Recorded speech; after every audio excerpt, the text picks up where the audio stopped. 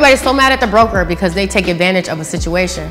But what I'm telling you guys about this direct freight, the brokers don't even know. So this is direct freight you guys can have access to. It's non-broker freight. It's out there in any state in the United States of America, and it's for you to get. It's actually a lot of it's set aside for minorities, and a lot of y'all don't even know that. I'm Casey with the Compass Circle. I got an owner-operator open house coming up, and you guys need to be there to learn how to take advantage of this.